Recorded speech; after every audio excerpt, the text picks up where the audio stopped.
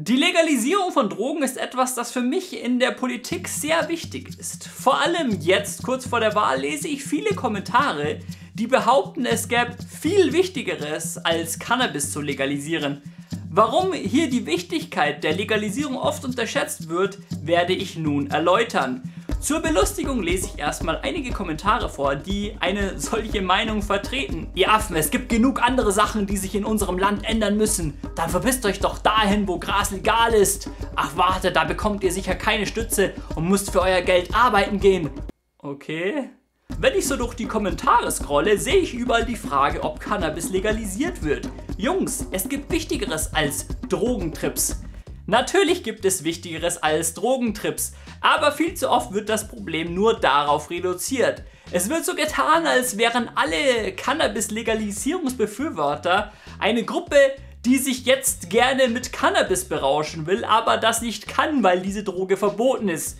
Für mich persönlich gilt die Aussage schon mal gleich doppelt nicht, weil ich Cannabis-Patient bin und das sowieso legal bekomme. Aber selbst für diejenigen, die nicht legal Cannabis besitzen dürfen, gilt diese Behauptung nicht, weil es in der heutigen Zeit einfach so fucking einfach ist, Cannabis aufzutreiben.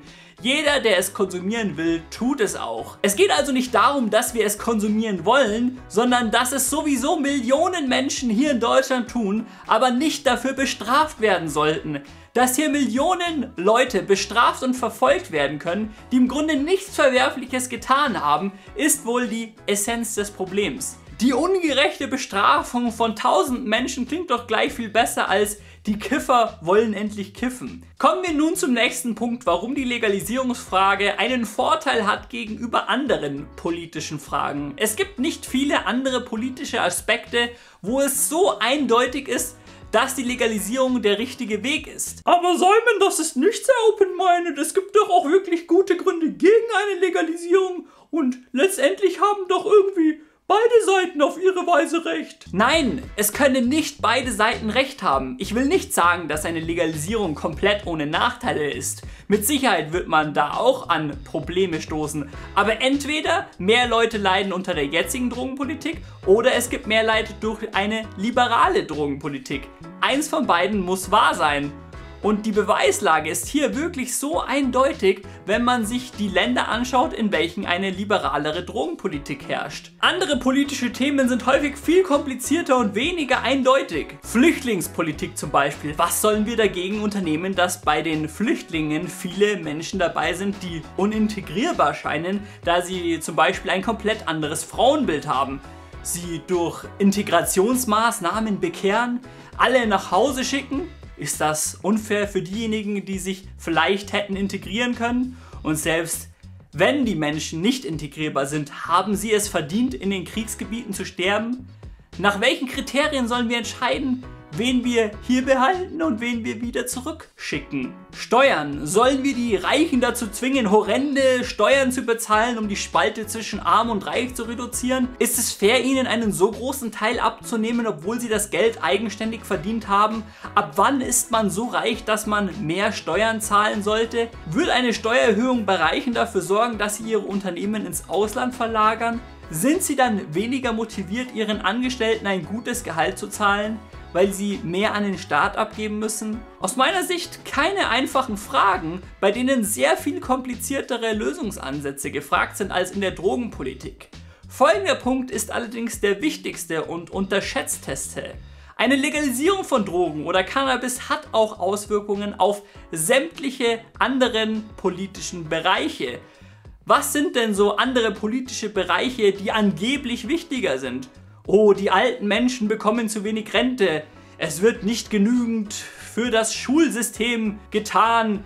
Die Spalte zwischen Arm und Reich wird immer größer. Es gibt zu viele Arbeitslose bzw. Geringverdiener. Die Flüchtlinge kosten uns zu viel Geld. Griechenland kostet uns zu viel Geld. Es muss mehr für die Umwelt getan werden. Die Polizei ist überfordert.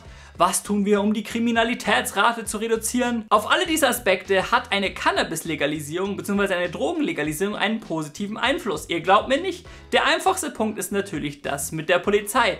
Wenn man Drogen legalisiert, kann diese sich um wirklich schlimme Verbrechen kümmern. Diese könnten sich durch eine Legalisierung ebenfalls reduzieren. In Washington sanken die gewalttätigen Verbrechen seit der Legalisierung sogar um 10%.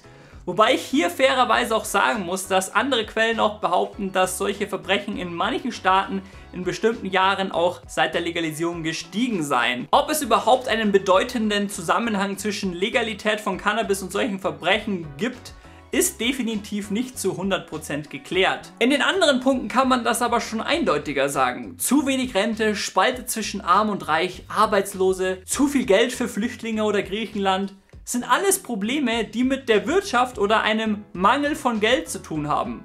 Colorado macht seit der Legalisierung so viel Geld, dass sie nicht wissen, wohin damit.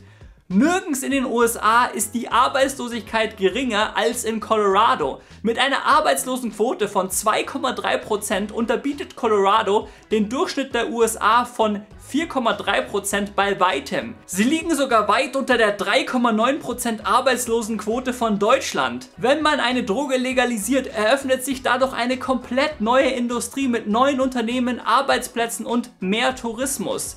Die zusätzlichen Steuern kann man dann bestens dazu verwenden, um die Rente zu erhöhen oder in sonst irgendeinem Bereich einsetzen, wo noch Unzufriedenheit herrscht. Und sogar im Bereich der Umwelt kann die Hanfpflanze aushelfen. Papier oder Kleidung aus Hanf herzustellen ist viel ökologischer als aus Bäumen, vor allem weil die Hanfpflanze viel schneller wächst. In meinem Amsterdam-Video zeige ich euch etliche weitere Sachen, welche man aus Hanf herstellen kann. Und hier auch noch weitere Beispiele, für was man alles aus Hanf bauen kann. Hier dieser Gitarrenbody, der ist auch komplett aus Hanfplastik. Ein Skateboard komplett aus Hanfplastik und hier diese Schuhe von Adidas, auch aus Hanf. Man kann alles aus Hanf bauen. Ich will jetzt nicht sagen, dass es keine Themen gibt, die genauso wichtig sind wie Drogenlegalisierung. Vielleicht gibt es sogar welche, die ein bisschen wichtiger sind.